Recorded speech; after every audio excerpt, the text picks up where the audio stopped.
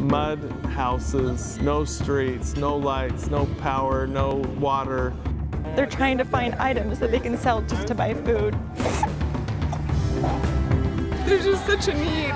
Just so happy for something we just take for granted. If everybody did a little, a little turns into a lot.